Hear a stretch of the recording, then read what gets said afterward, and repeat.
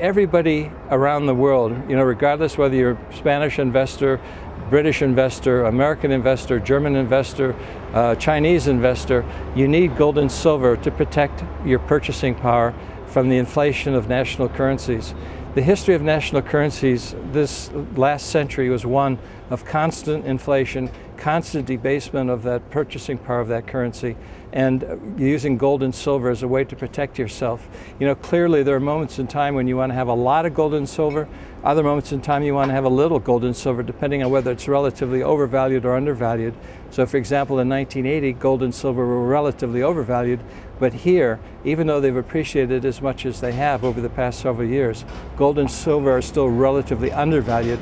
So I think people should be concentrating on accumulating large amounts of gold and silver to protect themselves. And don't try trading gold and silver. What you should be doing is um, accumulating it, you know, month in, month out, uh, save some gold, save some silver, view it like a savings account, but you're saving sound money instead of national currency. Goldmoney is a, uh, a European company. We're based in the British Channel Islands.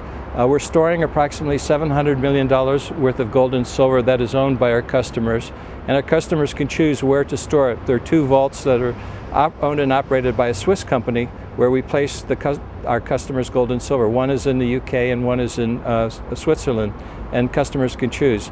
We have customers in over 100 different countries around the world, um, and you know people are coming to Goldmoney because they find that it's not only a safe way to buy physical gold and physical silver, but it's also very cost effective.